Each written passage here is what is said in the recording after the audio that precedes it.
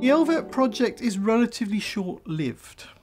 It's got two years to create fundamental change, and that makes me slightly nervous. I'm not sure that two years is long enough to actually embed the kind of level of change, and for that change to, as it were, filter out from the individual project teams to the rest of the college.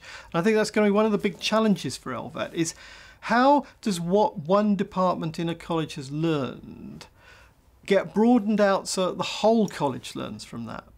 and how the legacy of the projects, individual projects, will be sustained.